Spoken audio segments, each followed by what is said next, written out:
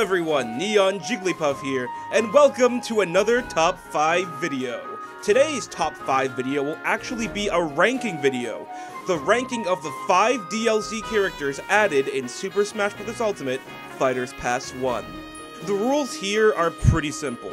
All I'm going to be doing is ranking my least favorite to favorite DLC character in Fighters Pass 1, starting with number 5 and ending with number 1. And for those who are wondering, I will also cover DLC Pack 2 and all the Mii costumes in the future.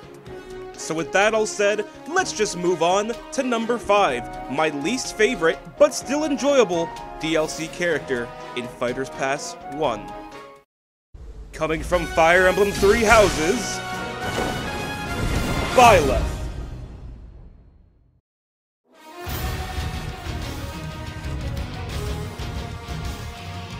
Ah, good old Byleth from Fire Emblem Three Houses. Who would have thought that he of all characters would be number 5 on this list? So lately I've been seeing a lot of trends on Twitter and stuff basically stating that if you don't like Byleth, that means you're bad and you blindly hate Fire Emblem, but Actually, that's not true. I actually really enjoy the Fire Emblem series. It's just, uh, I didn't really enjoy Three Houses that much. But despite that, I really don't hate the inclusion of Byleth. In fact, I think that it was actually a smart choice and that it was bound to happen at some point. Although in my opinion, he should have been part of the base roster, but I completely understand why he wasn't. But uh, Byleth isn't all bad, because his moveset's actually pretty unique, being the fact that he doesn't even have just a sword, he has multiple weapons that he can choose from. And, you know, people have complaints that there are a lot of sword fighters in Smash Brothers, but that wasn't really a complaint to me. In fact, I never really cared for the amount of sword fighters in Smash Brothers, because, like, that's just a common weapon in uh, video games. And if I'm gonna say one good thing about him, that would be that his design's pretty cool, except for his stupid coat cape with sleeves that he doesn't use, and I always thought that was a stupid detail. I, I, it, it doesn't look cool, it, it just looks stupid. But other than that, that's really all I have to say about Byleth. That's my reasoning for why he's number 5. I'm not really a big fan of his game. But with that all said, let's move on to number 4, my fourth favorite character in Fighters Pass 1. The Phantom Thief hailing from Persona 5, Joker.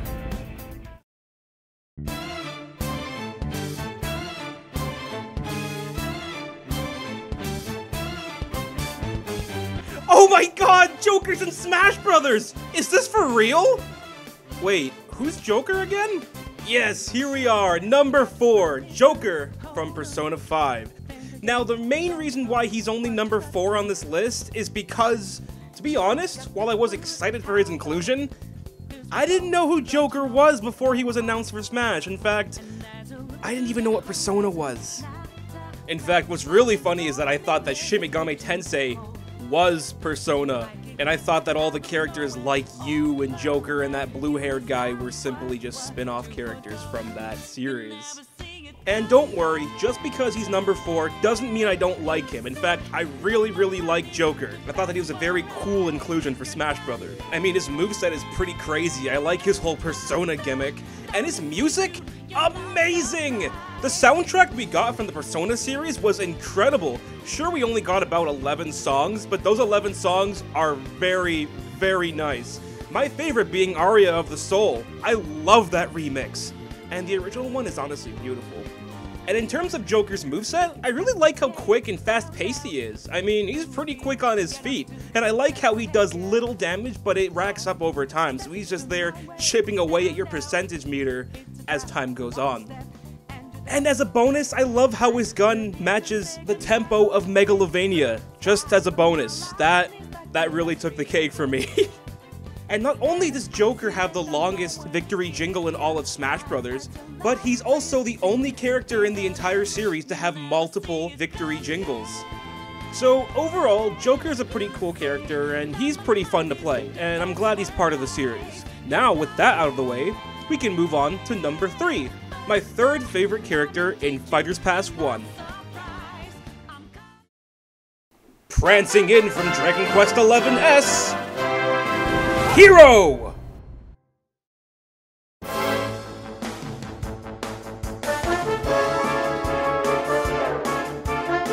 H-E-R-O, you're our hero.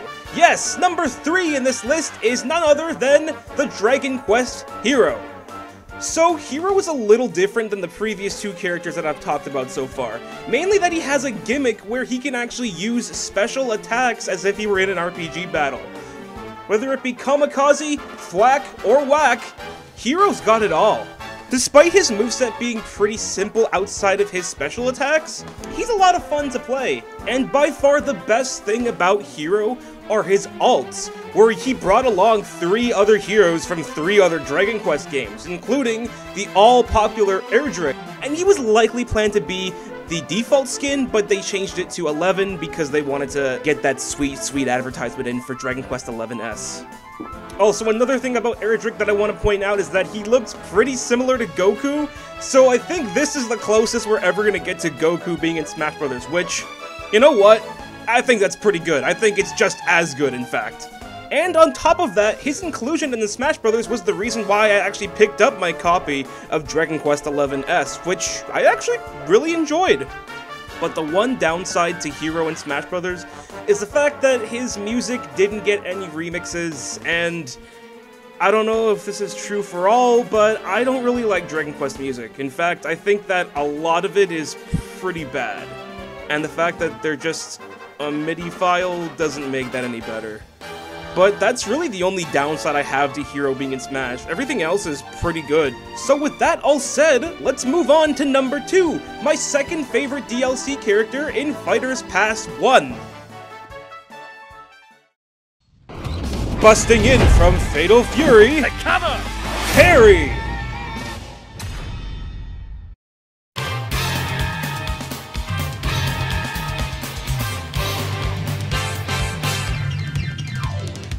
Oh man, do I have a story for you. So back then, Terry Bogard for me was really like the nail in the coffin because it was at a time where I was very angry about all these third-party characters being added as advertisements. I know, in hindsight, it was a really stupid thing to be angry about, but just hear me out. Back then, I was a lost soul who still had hope for Bandana Waddle Dee and Waluigi and so on and so forth, and I thought that these third-party characters were, quote, stealing the limelight from the smaller Nintendo characters. Now combine that with the fact that I had zero idea who Terry Bogard was or even what the Neo Geo was, I was not angry at Sakurai or the dev team, but I was more so just annoyed. Well, that is until I actually got down to playing the original Fatal Fury a few years ago when everything changed. My god, I love that game. Playing through the original Fatal Fury on the Switch was enlightening because it really taught me about how crazy and awesome these characters are and how amazing this world is and how great it is to actually have Terry alongside all these other gaming icons from many different companies. Mostly Nintendo, but you know the deal. And the soundtrack they brought with us? Over 50 songs from Fatal Fury series? It is awesome! Almost every single song in the playlist, if not every song in the playlist, is a hit! I love the soundtrack so much to the point where sometimes I bring my Switch outside with me when I go for walks or on the bus just to listen to the soundtrack because it's that good. And on top of that, Terry Bogard brought my favorite stage in Smash Ultimate with him, the King of Fighter stage. I don't know what it is, it's just perfect. It's the stage that I didn't know I wanted my entire life. It makes Smash Bros. feel more like a traditional fighting game, but it still feels like Smash at the same time, so it's not taking away from what Smash is. So in a way, it feels like it's adding more to what Smash is, if that makes any sense. And if you know me, then you know that I am a huge Amiibo fan. I mean, look at my Amiibo wall. Do you not see how crazy that is? And just look at Terry's Amiibo, like, it is awesome. Look at the detail. Look at it. Look at the detail. Now. So it's crazy to me that two years ago Terry Bogard was my least favorite DLC character, and now he's my second favorite of all time. Anyway, let's not babble on for too long. Now let's move on to number 1, my favorite DLC character in Fighters Pass 1.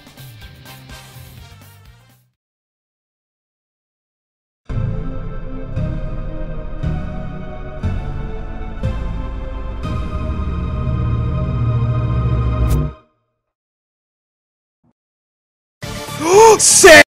Yeah, you weren't expecting that, were you? Here's the real number one. Smashing in from Spiral Mountain, Banjo and Kazooie.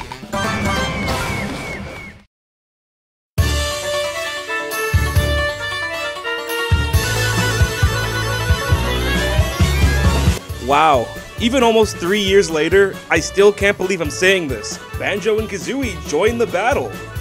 Whether you love them or you hate them, you gotta admit, they feel right at home on Nintendo Switch. Now, I don't really talk about this too much, but way back in the Smash Bros. Wii U days, I was actually a huge Banjo supporter. Which is odd because to this day I've never played a Banjo and Kazooie game, so I have no idea what these characters are. And fun fact, when Smash Bros. on 3DS first came out, Duck Hunt Duo was actually my main because they reminded me of Banjo Kazooie. And I would also use this alt, so you can really see where I was going with that. So here's the golden question. Why do I like Banjo and Kazooie so much despite me never playing their games ever? Well, it all comes down to one simple thing. They're fun to play. They're awesome. They're great. And not to be disrespectful or anything, but their trailer's the only one out of the five that actually made me smile. Yeah, I know. But one of the biggest, if not the biggest reason why I love Banjo Kazooie so much is because it made my best friend KDP so happy. I mean, take a look at his reaction for just a second. Yo, wait, what is this? no way! Let's go! Show it! Show it! Show me it now! Show me it now! Now, if that doesn't put a smile on your face, I don't know what will. Seriously, that is my favorite Banjo and Kazooie reaction to this date.